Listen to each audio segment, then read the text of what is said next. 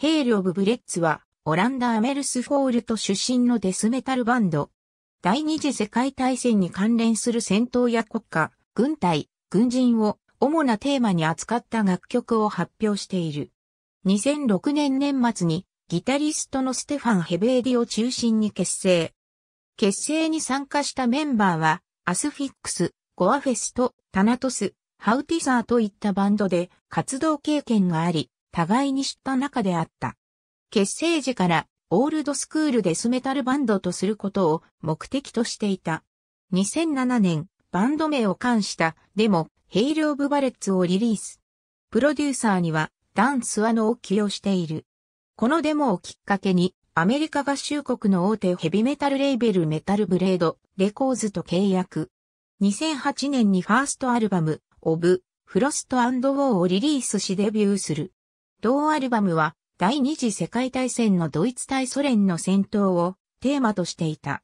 2009年にはファースト EP ワルソーライジングをリリース。2010年にはセカンドアルバム On Divine Winds をリリース。同アルバムは大日本帝国の栄枯盛衰をテーマに扱ったコンセプトアルバムで、主に太平洋戦争開戦のきっかけとなった真珠湾攻撃から終戦の玉音放送までを扱っている。日本でも Metal Blade Records Japan から日本盤が邦題、吹けよ神風としてリリースされた。リリース後には Wacken Open Air などのフェスティバルにも出演した。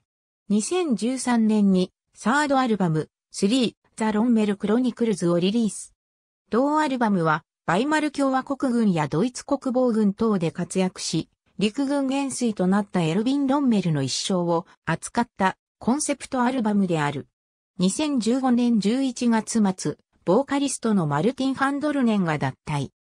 この脱退は、マルティンと他のバンドメンバーとの確執が大きな原因となっており、マルティンはこのバンドにいても全くもって幸せではない。バンド側は、マルティンとバンド活動を共にすることはできないと述べている。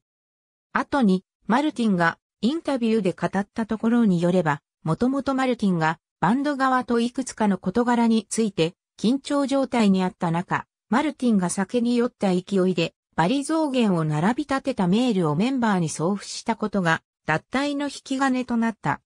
ただし、マルティンの言い分では、このような事態は初めてではなく、過去に同様の事例があった際にもある、バンドメンバーがマルティンの主張を聞こうともしなかったことが背景にあるとしている。その後、デイビッド・イングラムがライブセッションで参加することが発表され、その後、正式に加入した。2017年3月中旬、解散することが発表された。バンド側は数年前からバンド内で問題を抱えており、その原因を排除したものの、問題は予想以上に深刻でバンドを立て直すことができなかったと述べている。ただし、一部楽曲は満州事変や日中戦争など太平洋戦争、第二次世界大戦に含まれない部分についても扱っている。ありがとうございます。